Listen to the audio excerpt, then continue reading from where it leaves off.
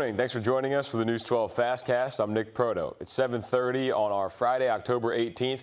Just new in the last half hour, the Richmond County Sheriff's Office is looking for a woman accused of aggravated assault. Deputies say 30-year-old Nina DeMons is wanted in connection to a fight that happened October 2nd on Wooten Road.